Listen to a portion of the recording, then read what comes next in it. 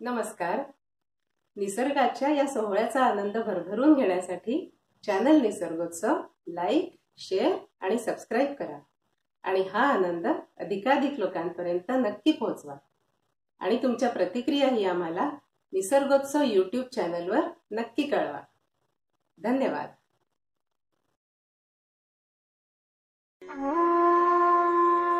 रसिक हो नमस्कार.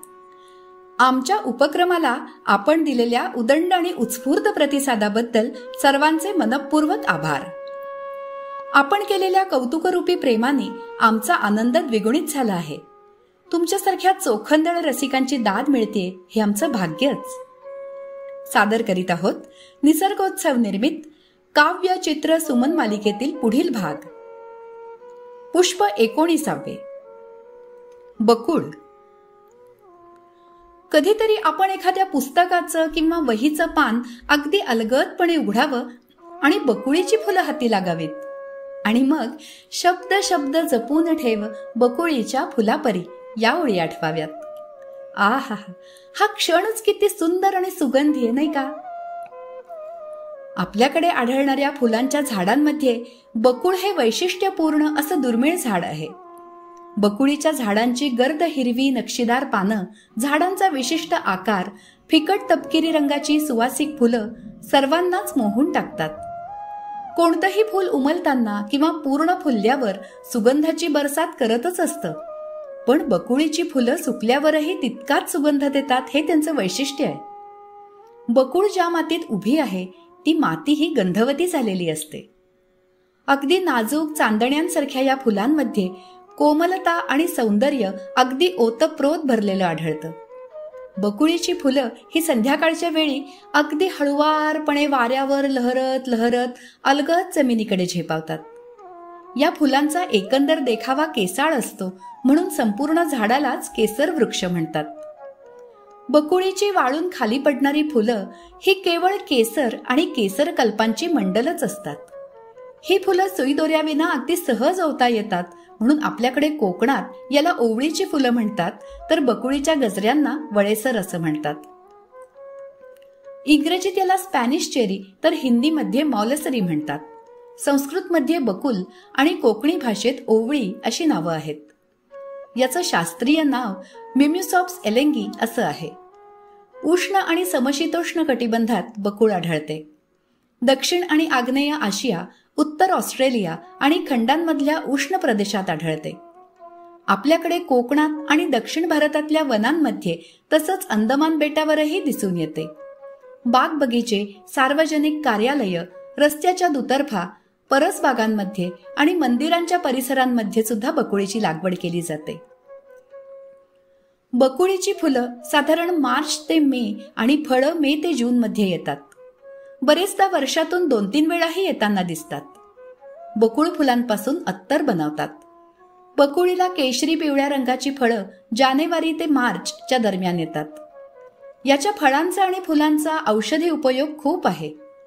बकुळीच्या फळांचा मगज हा अतिसारावर उपयुक्त आहे तर फुलं आणि फुलाफळांची पावडर करून ती जखमा भरून येण्यासाठी वापरतात.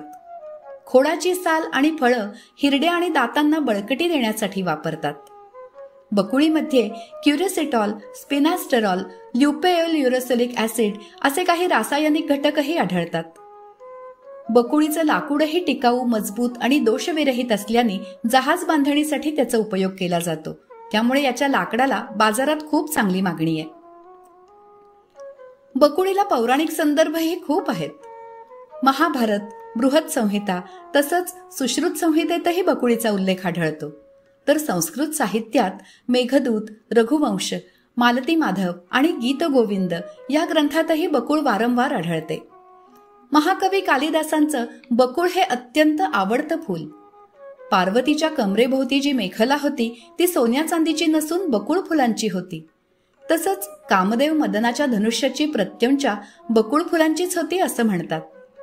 अशा या बकुळ फुलांच्या मोहात लेखक कवी गीतकार चित्रपट किंवा नाटककार न पडले तरच नवल.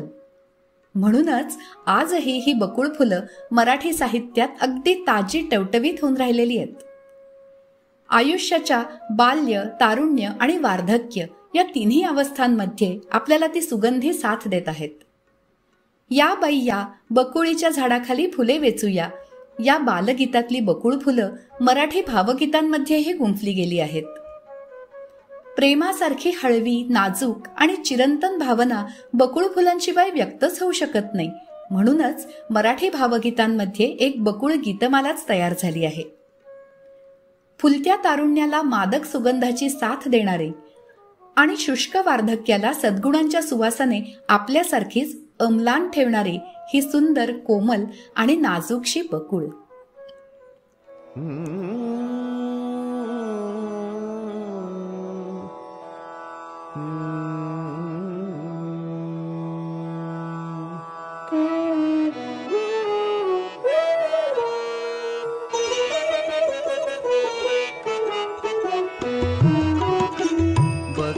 पुराणी गन्धितवारा वारा गन्धितवारा पुराणि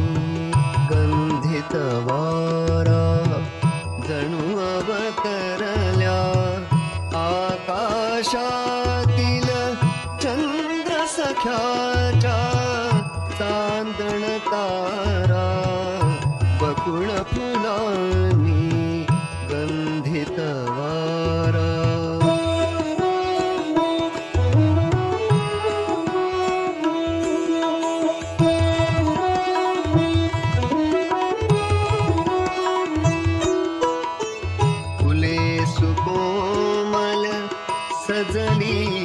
वनि फुले सुमल सजलीयवनि चित्रमनोमर सुखविलना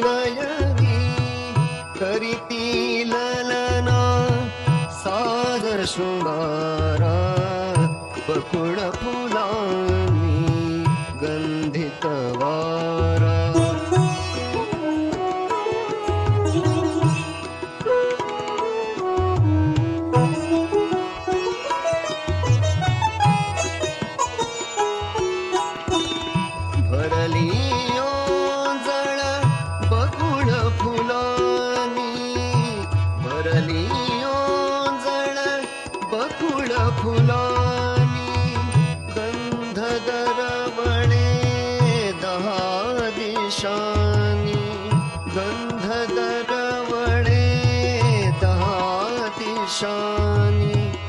अत्तरशुम्पित